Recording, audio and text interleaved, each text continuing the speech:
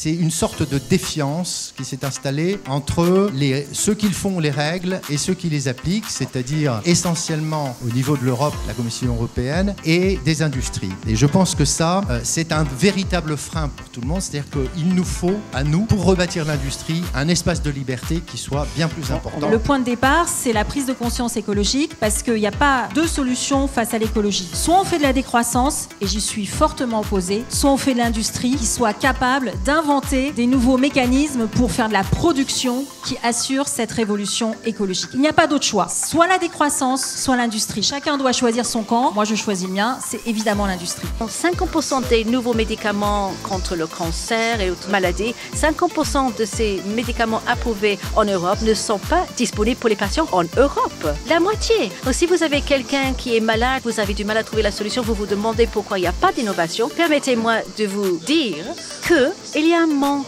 d'intérêt en Europe.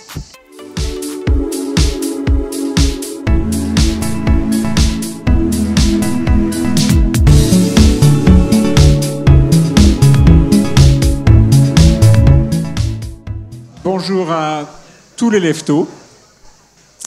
Euh, heureux de vous accueillir ici euh, pour cette plénière consacrée à la renaissance industrielle, avec d'abord un constat, le cercle des économistes a une capacité étonnante à innover puisque euh, cette plénière se déroule en même temps qu'une autre plénière. C'est donc un concept euh, parfaitement euh, incongru. En tout cas, l'établissement, la tentative d'établissement d'une concurrence pure et parfaite. Et donc notre objectif ici, sur cette table ronde, est d'être bien sûr les meilleurs. Et nous avons Et nous avons toutes les chances d'être euh, la meilleure séance plénière parmi les deux plénières, encore une fois, puisque nous avons ici Esther Boucher, membre du Council of euh, Finance Advisor du président Biden à la Maison-Blanche, chef économiste de Invest in America, que vous pouvez applaudir. Je vous remercie. Nous avons aussi la chance d'avoir Valérie Rabault, économiste et femme politique, députée PS du Tarn-et-Garonne, euh, ancienne rapporteure générale du budget et actuellement vice-présidente de l'Assemblée nationale. Et puis nous avons quatre industriels qui, à eux quatre, représentent euh, à peu près 150 milliards de chiffre d'affaires. Deux présidents, Benoît Potier, le patron de l'Air Liquide, et, Ross McInnes, le président de Safran et deux directeurs généraux de CEO, Benoît Bazin, Saint-Gobain, et Paul Hudson pour Sanofi. Et puis, bien sûr, et je lui passe la parole, nous avons une représentante du Cercle des économistes, Marie-Françoise Renard. C'est à vous de lancer les débats, Marie-Françoise. Merci. Alors, s'il est un domaine où l'espoir prôné par ces rencontres économiques fait de l'unanimité, c'est bien celui de la renaissance industrielle. Comme j'ai très peu de temps pour respecter mon temps de parole, je serai très rapide et je ferai seulement trois remarques. Premièrement, c'est que la désindustrialisation a été choisie à la suite des chocs, chocs pétroliers, concurrence des pays du sud-est asiatique. L'idée s'est développée que la production n'était pas stratégique, qu'on pouvait la laisser à d'autres pays et qu'on pouvait maintenir les activités de service sur notre territoire. D'autre part, à partir des années 80, le capitalisme français s'est financiarisé, ce qui a eu un impact assez important sur la, désindustrialisation de l'économie. Deuxième remarque, pourquoi l'industrie doit-elle retrouver un rôle central? L'illusion d'une société post-industrielle de services s'est vite évaporée avec les problèmes économiques, euh, montée du chômage, déficit commercial, euh, dépendance vis-à-vis de l'étranger. Pourquoi doit-on réindustrialiser? Tout d'abord, l'industrie génère plus d'externalités positives que l'agriculture et les services. C'est le secteur qui fait le plus de recherche et développement. Et l'industrie joue un rôle central dans notre position vis-à-vis de l'étranger. On a vu les conséquences de la dépendance en matière de produits stratégiques. C'est une question de souveraineté industrielle et nous avons, tout le monde le sait, un déficit euh, structurel commercial qui est compensé par d'autres choses, mais qui est important néanmoins. Et troisièmement, point, comment inverser la tendance? C'est un programme qui est complexe et de long terme avec trois objectifs intégrer complètement les considérations environnementales au processus de production. Deuxièmement, concilier une indépendance stratégique et notre positionnement dans les chaînes de valeur. Troisièmement, prendre en compte la dimension territoriale de l'activité industrielle. Ces trois objectifs sont interdépendants Ils peuvent conduire à la création d'écosystèmes conciliant les dimensions économiques, sociales et environnementales d'un projet. Et cela permet de redonner un rôle à la politique industrielle qui a été très décriée et partiellement abandonnée au moment même où les pays émergents fondaient leur développement sur cette politique industrielle. Merci beaucoup Marie-Françoise. Merci pour cette brief introduction. Et je vais passer tout de suite la parole à, Benoît Bazin. Euh, Benoît, vous dites que c'est un sujet, la, renaissance industrielle, pour autant qu'elle soit avérée, on, va en parler euh, pendant, pendant une heure à peu près, c'est un sujet qui dépasse, dites-vous, largement le seul sujet de l'industrie. Merci Nicolas Bétou. Effectivement, je pense que nous n'avons pas le choix de faire de la renaissance et de la réindustrialisation pour plusieurs raisons. Et je vais vous partager mes, convictions. La première, ça vient d'être évoqué en termes d'emploi. Naturellement, un emploi industriel, ce sont cinq ou six emplois induits. Ce sont des emplois également répartis sur le territoire, alors que d'autres activités économiques sont beaucoup plus concentrées dans certaines métropoles, alors que l'industrie peut participer à l'aménagement du territoire. Deuxièmement, en termes d'autonomie et de souveraineté, pas uniquement d'ailleurs la souveraineté industrielle, mais la souveraineté au sens le plus cru du terme du pays. On le voit bien avec la situation malheureusement militaire qu'on vit aujourd'hui en Europe. Il faut un complexe militaro-industriel dans, dans, un pays. Troisièmement, en termes d'innovation, parce que tous les défis que nous avons devant nous, euh, les défis sanitaires, les défis climatiques, les défis démographiques, ils ne peuvent se résoudre qu'avec de l'innovation, et c'est l'industrie qui apporte de l'innovation pour répondre à ces défis d'aujourd'hui et, de demain. Et puis quatre, j'irai même effectivement un petit peu plus loin que le seul aspect économique, même au plan politique et social. L'économie probablement, l'industrie est probablement l'un des meilleurs lieux d'ascenseur social, d'ouvrier qui devient ouvrier supérieur, chef de ligne, technicien, directeur de production, ingénieur.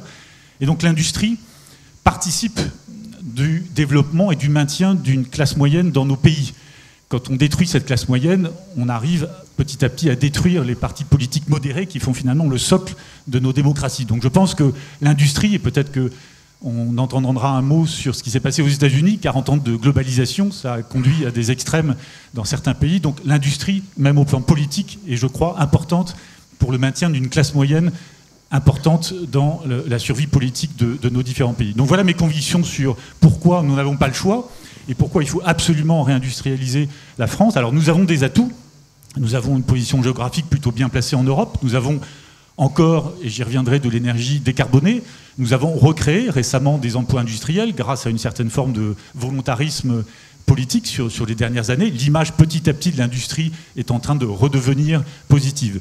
Pour autant, nous avons euh, de gros obstacles et donc de gros besoins d'accélérer et de prendre conscience qu'il faut changer de vitesse, changer de braquet sur un certain nombre de sujets que je qualifie, moi, de cadre de compétitivité pour l'industrie. Et je me tourne à ce moment-là beaucoup plus vers euh, la puissance publique. Il faut un cadre, tout d'abord, très compétitif sur l'éducation. Si nous cessons d'investir dans l'éducation, on paupérise l'éducation en France, et notamment euh, l'éducation scientifique, les mathématiques, nous n'aurons pas d'ingénieurs chez Air Liquide, chez Saint-Gobain, chez Sanofi ou chez Safran. Donc l'éducation est extrêmement importante vous n'avez peut-être pas noté, mais dans le plan Biden, il y avait un plan et un volet très important sur les STEM, Science, Technology, Engineering and Mathematics. Donc il faut effectivement pour l'industrie investir dans les sciences et l'éducation des sciences en France. Deuxièmement, l'innovation, la recherche et développement. La France investit 2,2% de son PIB, les États-Unis c'est 3,7%. Donc il faut beaucoup plus d'efforts en recherche et développement face aux enjeux d'aujourd'hui et de demain. Et pour finalement sortir de ce qui était autrefois la compétitivité coût du pays, la question de l'industrie en France, c'est plus de savoir si on fait des t-shirts à Roubaix ou au Cambodge. La question, c'est de savoir si on investit dans les nouvelles technologies de demain. Et nous sommes en compétition avec la Chine, avec les États-Unis sur des nouvelles technologies de la valeur ajoutée. Et ce sont l'éducation et l'innovation qui vont permettre le partage du savoir et donc le partage de la valeur. C'est dans ce sens-là que ça se fait. Troisième sujet, la mobilité au sens euh, des ports, des autoroutes, des aéroports.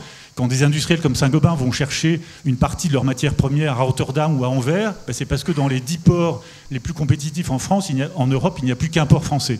Et donc la compétitivité. C'est lequel C'est le, port de, Marseille. Ah, Mais on pourrait penser que Dunkerque, Saint-Nazaire, Le Havre soient des ports compétitifs parce que nous avons la plus belle façade maritime d'Europe en termes de kilomètres.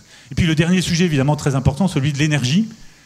Quand on parle beaucoup d'industrie verte aujourd'hui, le seul sujet qui importe pour un industriel qui se projette sur 20, 30 ou 50 ans, c'est la disponibilité en volume et à un coût abordable de l'électricité post-AREN. On sait que l'AREN, le dispositif s'arrête en 2025. Quelle sera l'électricité décarbonée en France en 2025 Nous avons besoin de le savoir pour 5, 10 ou 20 ans.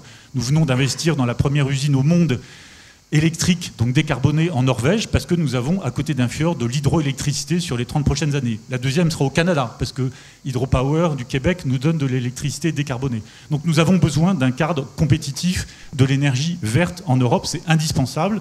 Nous n'avons pas de signaux sur ce sujet-là, et je termine là-dessus, il faut naturellement que ce cadre que je viens d'évoquer, éducation, innovation, mobilité et énergie, notamment sur l'énergie, c'est nécessairement un cadre européen. Donc je suis confiant, nous pouvons réindustrialiser, nous en prenons le chemin, mais il faut impérativement que ce cadre soit très compétitif. Ça n'est pas la puissance publique de plonger à l'intérieur du cadre pour nous dire quelle couleur peindre et comment faire un tableau, mais en revanche, la compétitivité de l'Europe institutionnellement doit être très forte sur le cadre que je viens d'évoquer. Merci beaucoup. Merci Benoît Bazin. Juste un, mot. Hein. Est-ce que vous diriez... Est-ce que vous diriez que euh, la renaissance industrielle aujourd'hui en France est entamée? Euh, est-ce que ça y est, le rebond est enclenché? Le rebond est enclenché parce qu'on a créé 50 euh, ou 60 000 emplois industriels, mais il y en a 100 000 à risque si l'électricité, l'énergie restent chères en Europe. Donc c'est un tout petit début, l'image est plus positive, on a recréé des usines, le pays travaille, mais c'est très fragile et il faut vraiment changer de, changer de braquet et avoir une vision et une stabilité de long terme sur ces sujets-là. Benoît Potier, est-ce que vous diriez vous aussi que c'est très fragile? Est-ce que cette euh, renaissance industrielle est à peine entamée? Merci, bonjour à tous. Euh, oui, alors moi je voudrais, avant de répondre à cette question, faire un ou deux constats. Pour avoir un chiffre en tête, la part de l'industrie en Europe, euh, en France, pardon, n'a en fait cessé de chuter depuis les années 70. On était à 20%, on est aujourd'hui à 13% du PIB. Donc ça veut dire que là, on a vraiment devant nous le fait que l'industrie a fondamentalement baissé. Euh, la tendance de fond, elle, se poursuit, elle, commence juste à se, à se stabiliser. Donc voilà, vous avez répondu à ma question? Non, ça c'était pour l'aspect désindustrialisation. Maintenant, il faut réfléchir à l'industrie, la réindustrialisation. Alors, euh, avant d'en venir à ça, je voudrais juste dire que quand on parle d'industrie, on parle d'énormément de types d'industries différents et de secteurs différents. Alors, à titre d'illustration, on sait ce que c'est que l'industrie lourde, l'industrie légère, l'industrie de production, l'industrie de transformation, l'industrie des technologies ou l'industrie des services. Et à chaque fois, on voit que c'est quand même un peu différent. Et quand on parle de secteur, c'est la même chose. On a ici pas mal des secteurs représentés. En fait, euh, les secteurs, ça peut être la métallurgie, la chimie, l'énergie, le verre, le bois, le caoutchouc, le papier, la pharmacie, etc. Et en fait, ce qu'il faut bien réaliser, c'est que quand on parle de réindustrialisation, il faut avoir une approche sectorielle. Parce qu'en en fait, c'est par secteur qu'on arrivera à réindustrialiser. Réindustrialiser, c'est par définition, c'est rebâtir. Donc il faut partir du point qu'on a aujourd'hui et essayer d'imaginer comment on va bâtir. Or, jusqu'à présent, dans un système mondial qui était optimisé, en fait, nous, les industriels, on réfléchissait en termes d'optimum économique. On allait produire là où c'était le moins cher, on, essayait d'imaginer comment les produits pouvaient bouger d'un pays à un autre, on faisait les calculs et on arrivait finalement, pour servir un marché, à constituer une chaîne qui était la plus compétitive. Mais c'était essentiellement un raisonnement économique. Au jour d'aujourd'hui, on vient de parler d'énergie et je voudrais revenir sur ce point parce qu'il est extrêmement important. En fait, la situation énergétique a été complètement bouleversée donc cet optimum économique qu'on avait créé est complètement bouleversé, il faut le rebâtir.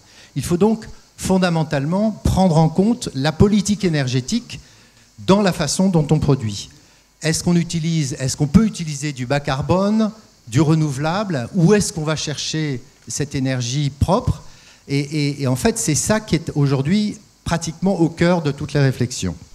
Deuxième grand bouleversement, l'environnement on ne peut plus concevoir l'industrie sans prendre en compte l'environnement. Donc la politique environnementale est aujourd'hui au cœur. Vous pouvez interroger toutes les entreprises que vous allez rencontrer ici à Aix et vous leur demanderez est-ce que vous avez pris des engagements pour 2050 La réponse est oui.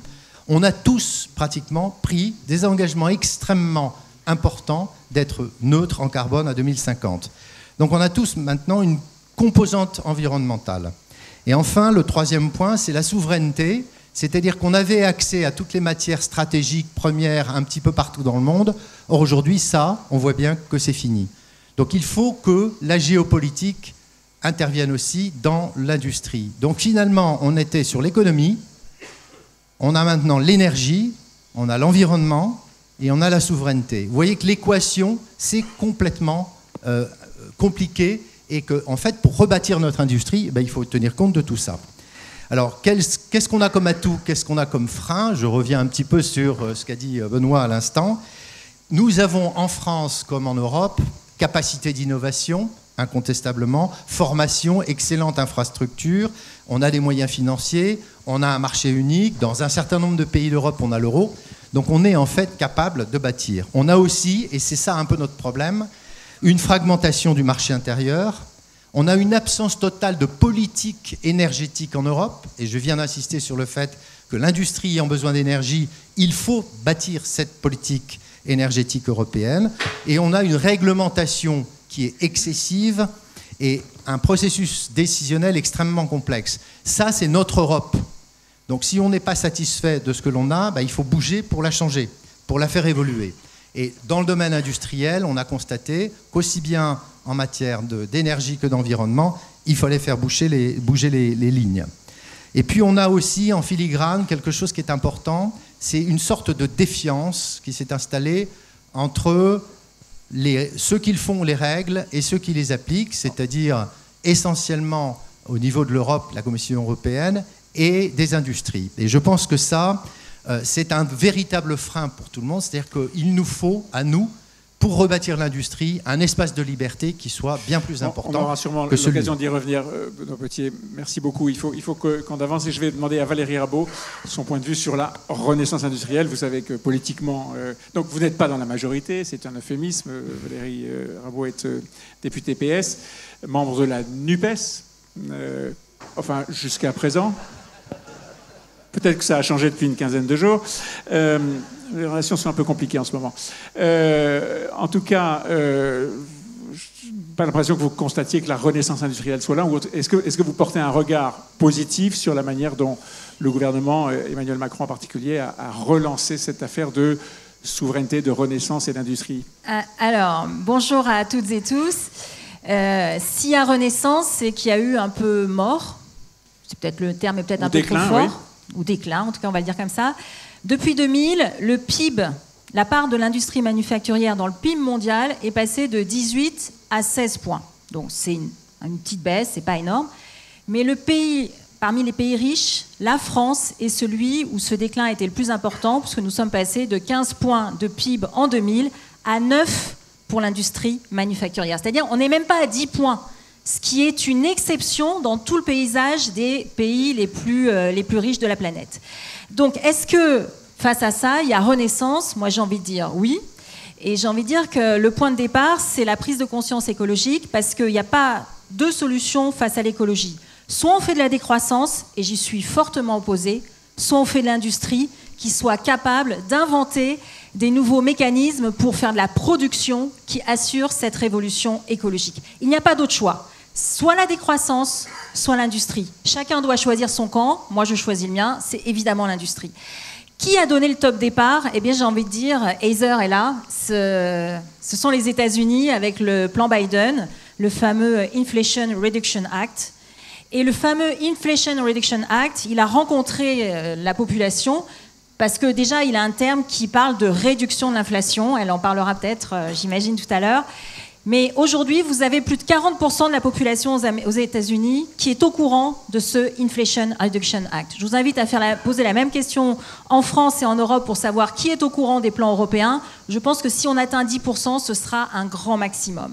Et donc, entamer cette euh, renaissance industrielle ne peut pas se faire sans le peuple, ne peut pas se faire sans nos concitoyens, ce qui nécessite d'avoir un tout petit peu de méthode et ce qui nécessite aussi de se poser la question des moyens que nous y mettons. Alors sur les moyens, est-ce que la France, parce que comme je suis euh, de l'Assemblée nationale, je vais plutôt parler de la France euh, aujourd'hui en tant que représentante nationale, est-ce que la France est dans la course? Alors là, il y a un, gros point d'interrogation sur trois leviers cette euh, renaissance industrielle, dans le fond, elle ouvre la porte à une compétition en Europe. Plutôt que de nous serrer les coudes, on se fait la compétition entre nous. L'Allemagne met 125 milliards d'euros par an d'aide, ce qu'on appelle des aides d'État. La France en met 63. On est dans un rapport de 1 à 2 sur le soutien euh, via les aides d'État. Donc effectivement, comme on a des problèmes de finances publiques, et je salue Claude Rénal qui est président au Sénat de la Commission des finances, comme on a des problèmes de finances publiques, effectivement, on ne joue pas dans la même cour. Mais on voit que sur l'ensemble des soutiens qui sont apportés à l'industrie, on est en train d'entrer dans une compétition entre nous. Et cette renaissance industrielle, elle ne fonctionnera pas en Europe si on se fait une sorte de guerre au mieux disant en termes de subventions. Deuxième volet, il faut que ces, soutiens, en tout cas ces grandes directions que nous donnons, soient fléchés. Là aussi, je vais prendre encore l'exemple de l'Allemagne. L'Allemagne a mis cinq fois plus que la France en termes de fléchage sur tout ce qui est révolution énergétique et écologique. Là, si on n'a pas un ciblage très précis, on n'atteindra pas l'efficacité en termes de rendement sur la finance publique. Troisième volet qui est très important, et ça a déjà été abordé par Benoît avant moi, c'est la formation scientifique. Je vais prendre encore une autre comparaison. En Allemagne, vous avez 20% des étudiants qui font des études techniques et d'ingénieurs. En France, on est à 5 points de moins et ça ne cesse de baisser. Donc si cette prise de conscience-là, elle n'est pas amorcée, euh, on n'arrivera pas à rentrer dans la course de cette renaissance industrielle. Et puis, dernier point en termes de pilotage. En France, on aime bien faire des plans, on aime bien. Euh, le problème, c'est qu'on n'a jamais de suivi synthétique, de suivi consolidé. Vous avez ce qu'on appelle dans le jargon de Bercy euh, les, les cahiers oranges. Alors les cahiers oranges, c'est ceux qui font des synthèses euh, très globales. Vous avez la politique de la ville, vous avez l'enseignement, enfin vous avez différentes choses. Vous n'en avez pas sur l'industrie. C'est-à-dire que l'industrie, elle est disséminée en termes de soutien public un peu partout. En 2022, la Cour des comptes a recensé 2100, 2100 dispositifs de soutien à l'industrie. Comment voulez-vous que les industriels s'y retrouvent? Mais c'est impossible. C'est impossible de s'y retrouver. Donc en fait, eh on s'aperçoit qu'ils sont très sous-utilisés et qu'ils n'ont pas l'efficacité qu'ils devraient avoir en termes d'argent public qui est mis. Donc trois leviers avoir une vision consolidée où tout le monde est autour de la table, renforcer euh, l'enseignement scientifique. Et là, et là, on part de très très loin. On part de très très loin. Et puis, euh, avoir un plan de soutien budgétaire, et je conclus, qui permettent d'avoir un rattrapage avec nos partenaires européens. Merci beaucoup. Vous avez évoqué l'Allemagne, Valérie Rimbaud, regardez le micro. Vous avez évoqué l'Allemagne et, effectivement les, montants très importants qui avaient été, lorsqu'ils ont été annoncés, euh, interprétés comme un mauvais coup fait à l'Europe, en tout cas une position très, très égoïste de l'Allemagne. L'Allemagne a une tradition industrielle. Euh, ça se sait, on connaît tous le, milieu, le Mittelstand et, l'ensemble des, ETI allemandes.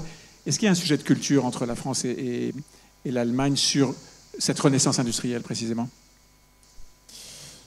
Il y a un sujet, comment dire? L'Allemagne soutient son industrie et elle fera tout pour soutenir son industrie. Euh, est-ce que nous, nous sommes dans la même dynamique? Je n'en suis pas certaine aujourd'hui. Voilà. Euh, merci beaucoup. Ross McInnes, est-ce que nous sommes dans la même dynamique aujourd'hui? Est-ce que la France soutient suffisamment son industrie? Est-ce que la renaissance est en cours? Euh, Merci. je commencerai par une petite nuance par rapport à l'introduction qu'a faite notre économiste dire que c'est la financiarisation du capitalisme français qui est une des causes de la désindustrialisation, je pense que c'est un peu court. Euh, la vérité, c'est que les entreprises industrielles comme les autres ont été soumises pendant 30 ans à des niveaux de ponction et de prélèvement au bénéfice de l'État nounou ou l'État mammouth, et c'est ça qui a créé la désindustrialisation. La financiarisation, elle a eu lieu partout. Je vois cinq conditions à cette renaissance la stabilité réglementaire et surtout fiscale, la neutralité de l'État sur les choix technologiques, préservation des acquis du marché unique en évitant les tentations de répondre à l'IRA par la course aux 2100 guichets nationaux. Un point important qui n'a pas encore été évoqué, ne pas adopter le mécanisme d'ajustement carbone aux frontières en l'état. Et finalement, mais il a largement été abordé par les deux Benoît, la visibilité sur les coûts de l'énergie. Première chose, stabilité réglementaire. Ne pas toucher au CIR. ne pas revenir, crédit d'impôt recherche. Crédit d'impôt recherche, oui. ne pas revenir sur les réformes du marché du travail entreprises depuis 2015, je dis bien depuis 2015. Poursuivre la baisse des impôts de production et de manière très importante, nous avons tous évoqué l'éducation, favoriser, poursuivre les mesures pour renforcer les liens entre les lycées pro et les entreprises. S'il y a eu trahison des clercs, elle a bien eu lieu à l'éducation nationale. S'il y a des aides d'État, les subventions avantages fiscaux, pour donner un signal prix, ne doivent pas privilégier telle ou telle technologie plutôt qu'une autre. Donc neutralité de l'État, nous l'avons entendu déjà, sur les choix technologiques. L'État n'est pas le meilleur stratège en la, matière. Je préfère un État, non pas stratège, mais jardinier, euh, plutôt le nôtre que Colbert. Euh, puisque j'évoque les aides d'État, chacun d'entre nous euh, fonce vers les, un des 2100 guichets dès qu'il est ouvert. Et c'est normal. Mais est-ce que c'est parce que les États-Unis ont décidé sans consultation de contrevenir de manière flagrante aux règles de l'OMC que nous, Européens, devons mettre à risque les acquis de notre marché unique? Pour nous, industriels, c'est un vrai dilemme. Il ne faut pas être puriste. Charles Péguy disait que les disciples de Kant ont les mains pures, mais ils n'ont pas de mains. Donc s'il y a 2100 guichets, nous devrait y avoir recours. Le mécanisme d'ajustement carbone aux frontières conjugué à la suppression des quotas gratuits est un poison. En effet, ne seront pénalisés à l'importation que certains produits de base ou des produits semi-finis, mais pas les produits finis, faute de données fiables. Et en outre, nos exportations seront pénalisées puisque nous subirons une taxe carbone sans compensation. Autrement dit, au moment où les Américains subventionnent, l'Europe va taxer, chercher l'erreur. Je ne reviendrai pas sur le coût de l'énergie puisque la, visibilité est clé. Donc pour répondre, Nicolas, à votre question, la Renaissance après le Moyen Âge, sans doute, mais j'attends avec impatience le siècle des Lumières. Merci beaucoup. Euh, je, vais, poser la question que vous avez dit.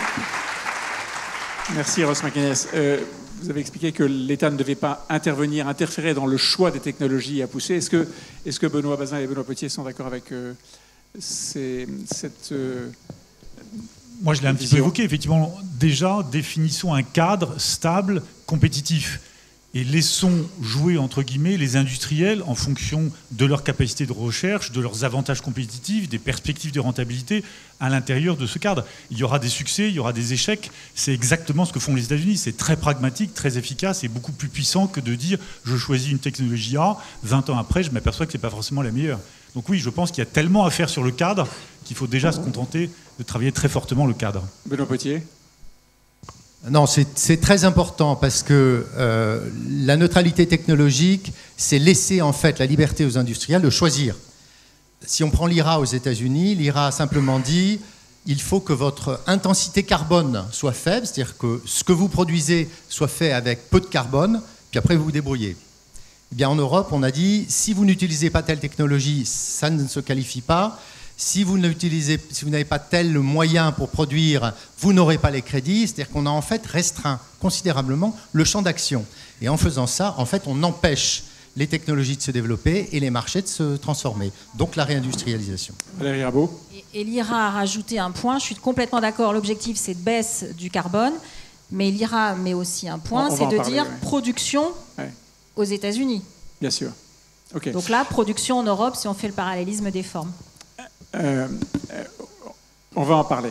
Euh, Paul Hudson, vous, êtes, le patron de, Sanofi, je le rappelle, et donc à la tête d'une industrie qui est au cœur des sujets de souveraineté. Le mot souveraineté a déjà été prononcé plusieurs fois dans cette table ronde, au cœur des sujets de souveraineté. Et s'il y a bien un sujet sur lequel l'État français, en tout cas, a mis un, accent particulier en disant qu'il fallait reconquérir de la souveraineté et donc recommencer à, produire et organiser une renaissance industrielle en France, c'est bien l'industrie pharmaceutique, votre industrie.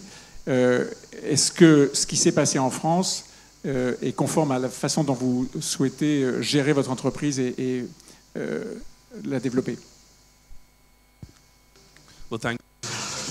Merci. Bonjour à toutes et à tous. C'est plutôt étonnant, en fait, de parler d'une renaissance industrielle et en fait, On a parlé de renaissance industrielle et on n'a pas parlé de santé. Alors, je crois que euh, Benoît a parlé euh, d'éducation en tant que levier. Autant que je puisse me souvenir, c'est vrai que lorsque l'on parle d'économie, il s'agit de réconcilier la santé et l'éducation et l'enseignement. Et je dois vous dire que la France a établi une priorité sur la santé, mais aussi une priorité sur la souveraineté de la santé. On va en parler dans quelques secondes.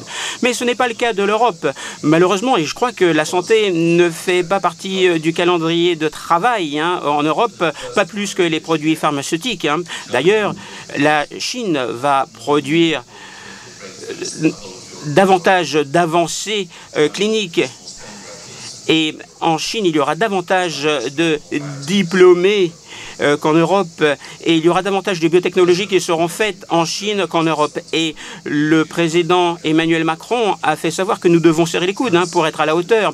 La France est un pays absolument incroyable, mais je pense que la France euh, ne peut pas rivaliser avec euh, la Chine et d'autres pays tout seul. Donc, en fait, nous avons des pénuries hein, dans, en Europe euh, des pénuries de médicaments, notamment suite à la pandémie. Au cours de ces dix euh, dernières années, les, les, médicaments ont été mis euh, aux enchères. des, médicaments sur lesquels beaucoup de personnes dépendent et on a demandé des prix aussi faibles que possible. Et en fait, ils veulent que l'on paye un prix plus élevés par rapport à la production parce que les normes de travail sont très élevées en Europe. Les fabricants vont aller vers la Chine ou vers l'Inde et c'est un chemin que beaucoup de pays ont suivi. Dès que ces organisations en Chine et en Inde doivent investir du capital dans la modernisation des infrastructures, alors ils le font et puis ils vont passer à un autre projet. Il n'y a pas de projet central en matière de médicaments en Europe. Les gouvernements vont m'appeler et ils vont me dire pourquoi vous n'allez pas fournir les médicaments Alors, moi, je vais leur dire, parce que vous voulez que euh, vous, allez nous faire payer un prix euh, qui est plus faible que celui de la fabrication. Et en fait, il y a des tensions hein, qui sont à l'œuvre. Et donc, si vous croyez véritablement dans la souveraineté, en fait, il ne faut pas paniquer. Vous n'allez pas construire une autre unité. Il faut cinq ans euh, pour euh, construire une unité de médicaments parce que les normes sont très élevées. Donc cinq ans. Donc si on commence maintenant pour construire une usine de paracétamol, en fait, elle sera prête en 2029. Donc en fait, je ne pense pas que l'on puisse faire preuve d'agilité en temps et en heure. Donc ce qu'il faut, c'est que les gouvernements en Europe doivent réfléchir en amont afin de s'assurer que les médicaments et la souveraineté euh, soient soutenus. Donc, euh, on leur demande d'être à la table des négociations pour faire des prédictions en matière d'investissement. Donc, euh, il, il faut que la santé devienne un impératif. Mais en fait, il n'y a pas d'intérêt pour cela en Europe. Donc, je dirais que euh, l'Europe traîne un petit peu. Alors bien sûr, nous avons un rôle à jouer parce que nous sommes une entreprise axée sur les médicaments, parce que nous, notre objectif, c'est euh, d'améliorer la vie des gens en dépit euh, du manque d'intérêt de l'Europe et en dépit de stratégie de l'Europe. Mais il faut continuer à innover parce que nous faisons des médicaments de haut niveau. Euh, alors, parfois, les gouvernements ne veulent pas payer pour cela. Et souvent, euh, les médicaments sont fabriqués ailleurs. Et c'est là que la souveraineté est importante. Euh, s'agissant de la neutralité carbone, bien sûr, à Sanofi, on est heureux de ce qu'on fait en matière de net zéro, de neutralité carbone, mais les investissements en matière de santé ce n'est pas simplement parce que la pollution donne lieu à des problèmes de santé, mais si en fait on ne peut pas euh, prendre en charge les personnes, alors la santé des personnes sera euh, mise à mal. On parle d'inégalité en matière d'accès aux soins. En fait, si vous êtes un adulte en bonne santé, normale, vous allez créer euh, 15 tonnes de carbone dans votre vie. Euh, si vous êtes prédiabétique, euh, si euh, vous changez votre style de vie, vous ne serez pas diabétique. Et si on intervient en amont, on va pouvoir en fait créer 45 tonnes de carbone Alors, il faut savoir comment la prise en charge est réalisée, euh, comment les médicaments sont prescrits, comment les médicaments sont produits. Donc, en fait, cela revient à créer 300 tonnes de carbone parce que votre style de vie n'était pas à la hauteur. Et donc, en fait, vous faites partie du problème que vous créez. Et puis, dernière seconde, s'agissant du, du, de l'IRA, bien sûr, nous applaudissons euh, parce que c'est quelque chose de visible, euh, c'est clair. Mais bien sûr, le diable se cache toujours dans les détails. Et pour euh, le secteur de la santé, l'IRA, c'est un défi. Et en fait, cela récompense beaucoup euh, les euh, intermédiaires et bien sûr, je pense qu'ils nous aurons beaucoup moins d'avancées pour le cancer au cours de ces prochaines années. Merci. Vous représentez l'administration Biden et, l'administration Biden qui est évidemment dans ce cadre-là de cette table ronde sur la renaissance industrielle très, très attendue sur l'IRA, le Inflation Reduction Act. vous êtes, peut-être vous pouvez nous rappeler d'abord les, grandes masses en jeu, les, principaux chiffres de, cet énorme plan qui a été lancé euh, par euh, l'administration Biden. Oui, je suis désolé, hein, je ne parle pas français, je veux parler euh, anglais. Donc, je vais prendre deux ou trois minutes et je vais vous parler des statistiques concernant IRAP. Alors ce qui est important, c'est de souligner l'importance des gouvernements et comment nous mettons en place hein, ces investissements stratégiques. Et donc le président Biden se concentre là-dessus. En fait, il s'agit de se concentrer euh, sur les choses que nous devons construire aux États-Unis, les choses qui sont importantes pour la vitalité économique, pour la résilience économique.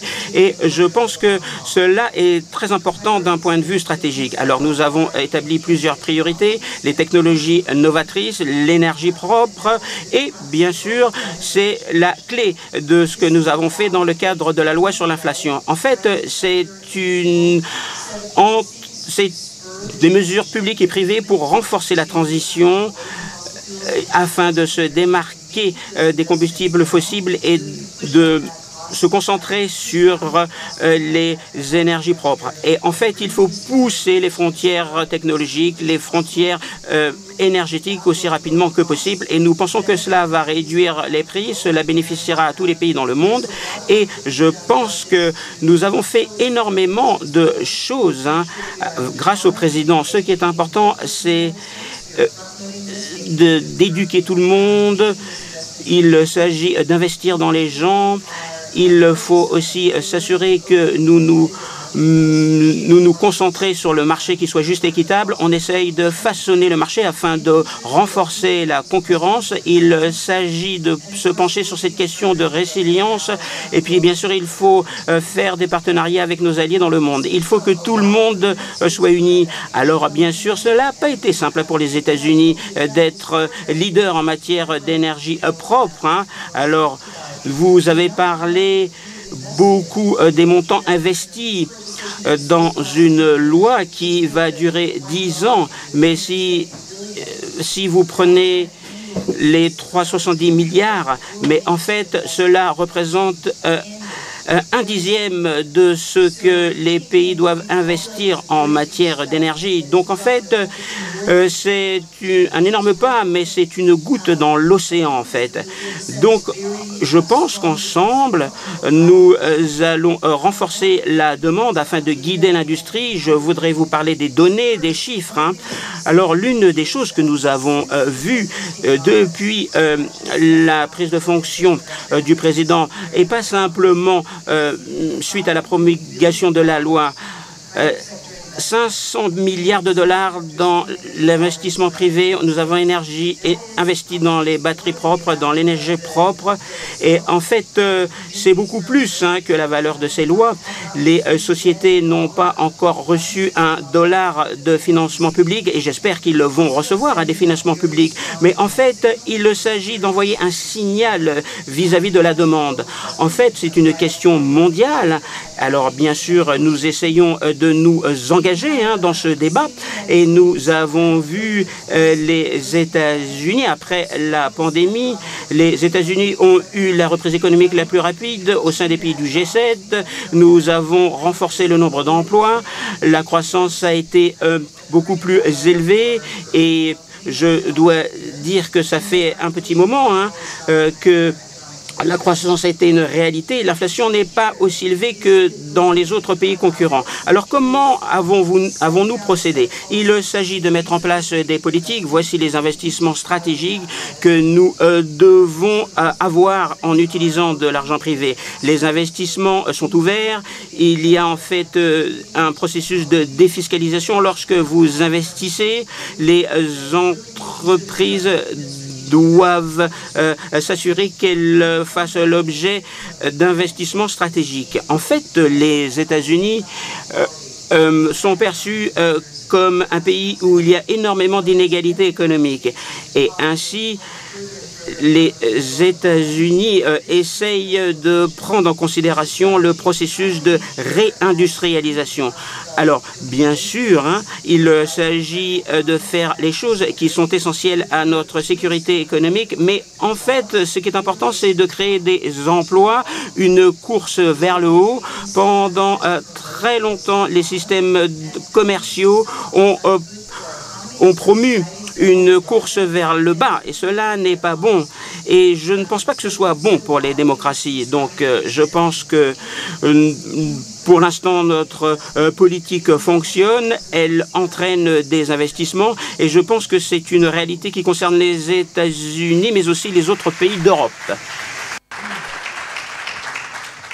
Ross McInnes disait tout à l'heure que euh, le lancement de cette politique IRA a été fait en contradiction formelle, en contradiction totale avec euh, les règles de l'OMC. Euh, est-ce que vous vous êtes affranchi de ces règles? Um,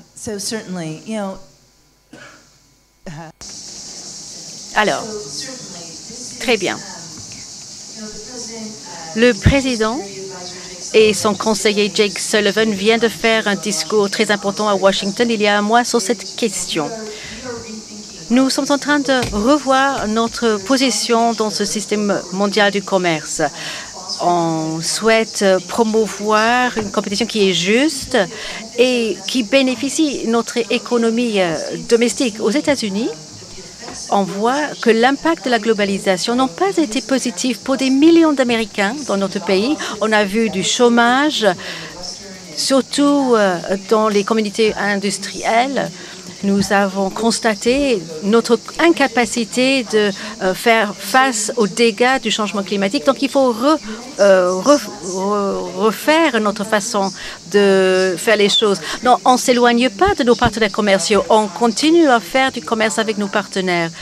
On essaye de trouver des partenariats avantageux, bien sûr. Mais la conversation se focalise sur cette course vers le haut.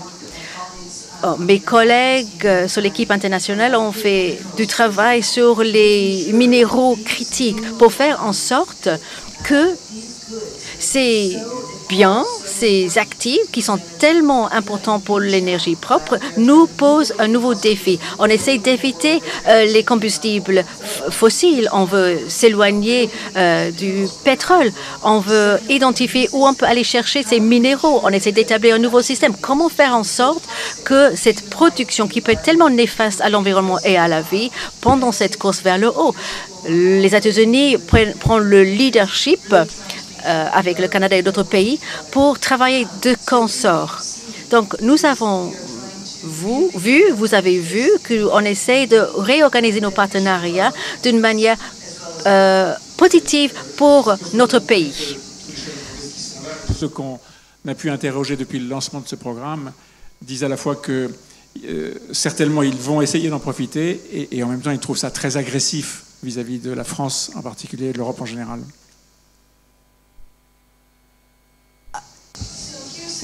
Ben, je vous explique. Ben, je pourrais dire plein, plein de choses. Bon, bref.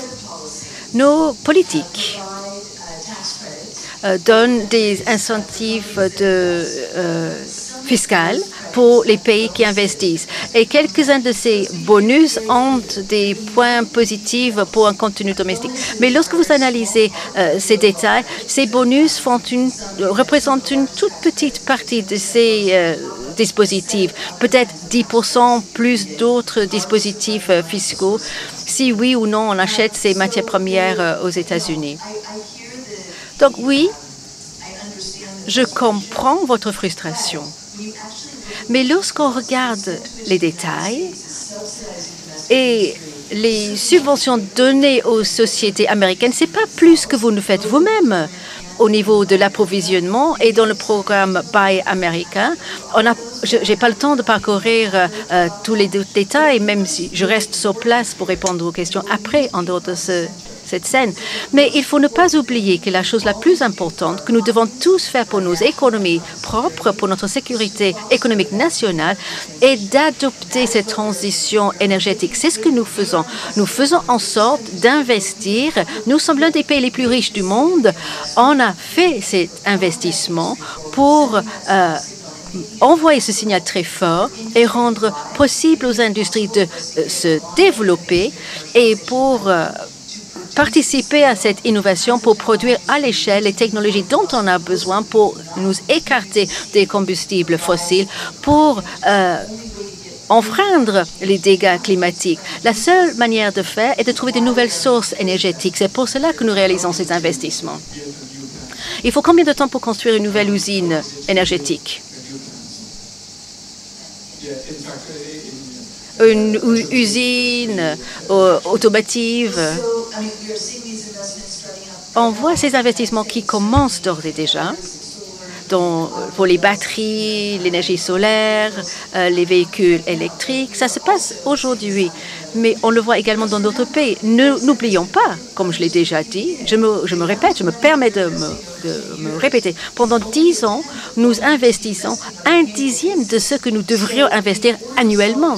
Afin de résoudre ce problème, nous savons que nous avons besoin de centaines de milliards de dollars investis dans les technologies d'énergie propre, non pas seulement pour nos pays, non pas seulement pour l'Europe, mais pour rendre plus abordables ces technologies, pour que tous les pays du monde puissent se les acheter juste effleuré, et encore pas en le désignant euh, proprement, euh, en France, construire une usine aujourd'hui, c'est très compliqué, à la fois parce qu'il y a une opposition générale, euh, le fameux, fameux effet NIMBY, Not in my backyard, et aussi parce que la France est un pays où les normes et les autorisations administratives sont tellement empilées qu'il faut des années et des années. Combien de temps pour construire une nouvelle usine, Benoît Bazin?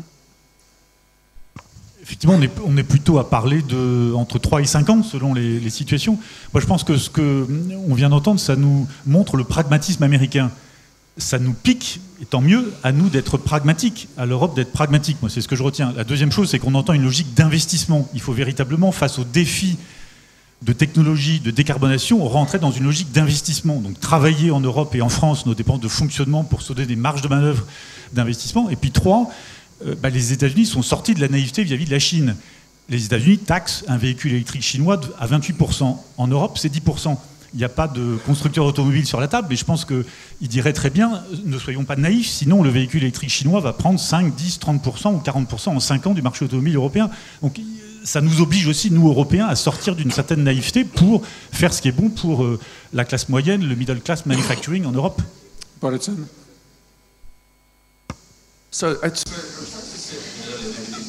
J'ai essayé de m'exprimer plus tôt, mais je m'exprimais peut-être mal. Le gouvernement français a fait tout ce qu'il fallait pour permettre la construction d'usines.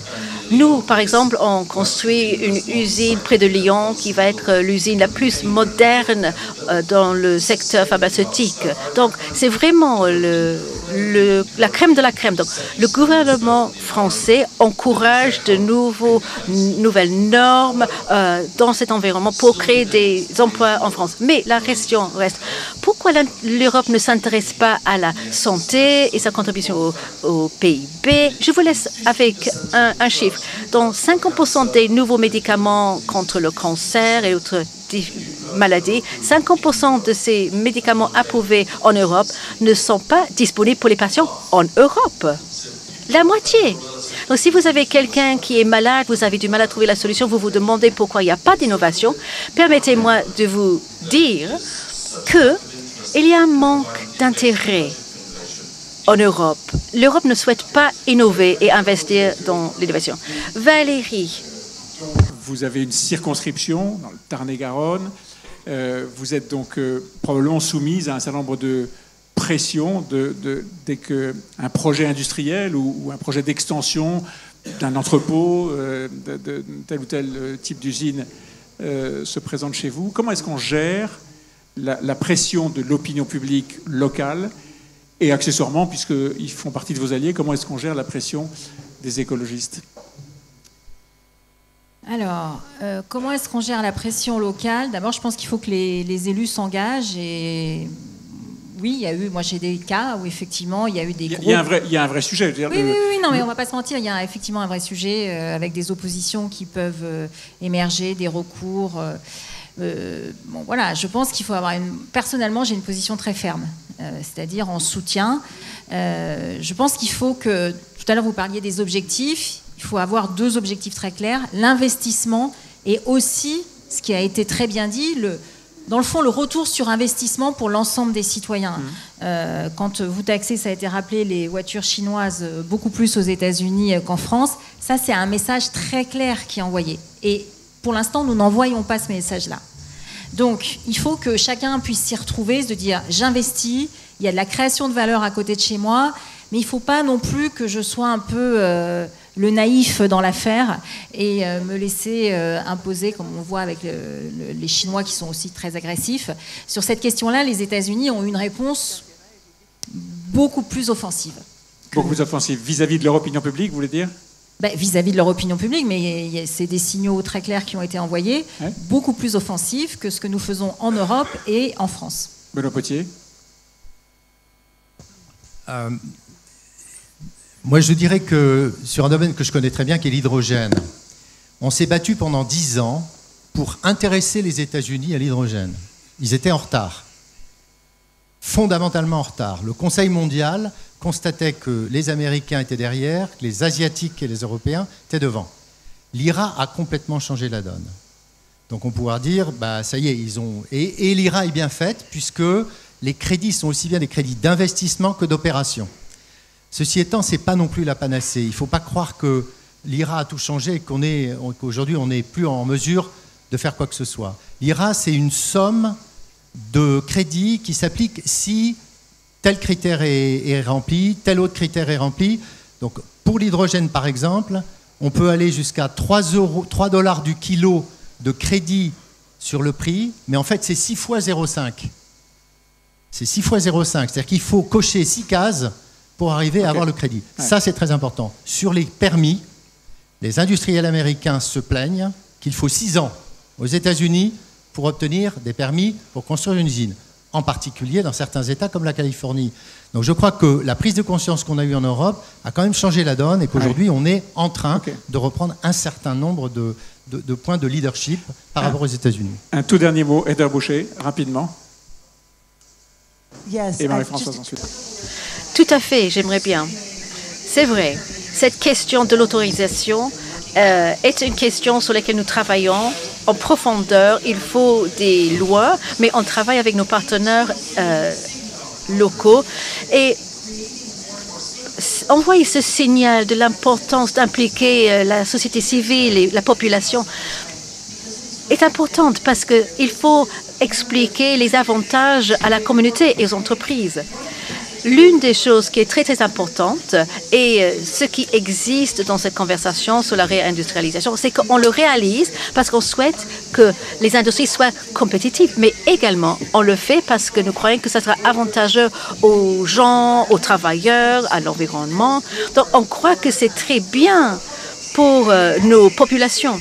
Et il faut jamais perdre cela de vue. Tout ce que nous faisons dans notre stratégie industrielle, on prend l'offre et la demande des deux côtés. Il faut que les investissements soient placés dans les communautés là où ils en ont besoin. Et c'était un point que je voulais juste euh, souligner.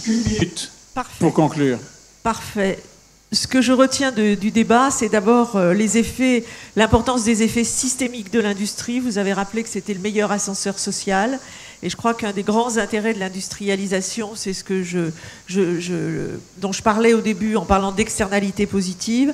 Ensuite, il faut travailler sur la compétitivité hors coût. Et en tant qu'universitaire, je ne pourrais que défendre l'importance de la formation, et notamment de la formation scientifique, et de l'innovation et de la recherche-développement.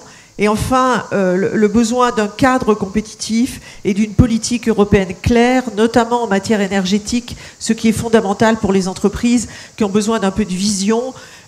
je vais m'autoriser une remarque personnelle en tant que spécialiste de l'économie chinoise. Je ne crois absolument pas à l'idée de naïveté. On a géré des intérêts opposés et on a souvent donné la priorité au court terme par rapport aux intérêts de long terme. Très bien, merci beaucoup. Merci à tous. On a vraiment vraiment fait la meilleure des deux plénières, de très loin, de très très loin.